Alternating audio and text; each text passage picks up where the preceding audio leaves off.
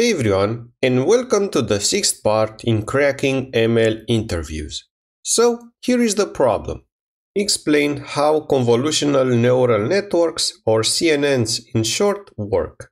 Okay, so what happens in CNNs is that you usually have as input a matrix, and you have another one that you use for convolutions. And inside your neural network, you have another matrix which is called the kernel matrix, which you use to perform the convolution operation, where you basically move through the matrix. For instance, you put here in the first position and you take the dot product between the elements in your kernel and the corresponding elements in your input matrix. And at the output, you obtain a value. Then you move your kernel one position to the right, and again you take the dot product between the elements in your kernel and the corresponding elements in your input matrix, and you obtain another value. Then you move it again to the right, you take the dot product, you obtain another value here, and so on until you reach the end of the first row. Then you move to the second row, and again you take the dot products between the elements in your kernel and the corresponding elements in the matrix, and you obtain the first value for the second row. And again, you move to the right on this second row, you take the dot product, and you obtain another value. And again, you do that for all the elements in the row and for all rows. And this one here is the output of the convolution operation.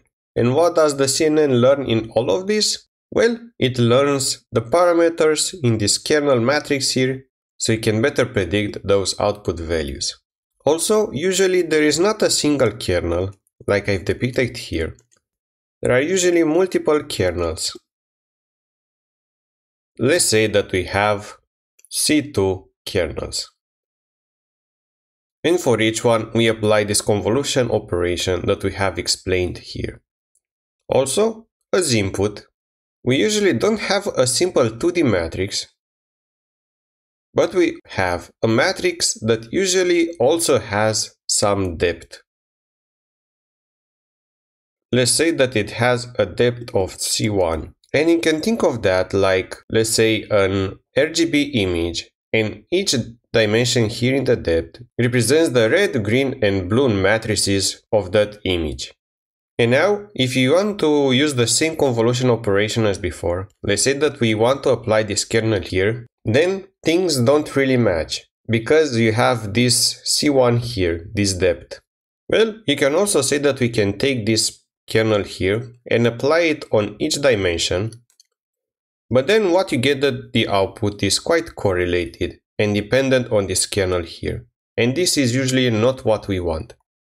So what we do instead is to take this kernel here and add depth to it, which is equal to the depth of your input. So in this case, C1.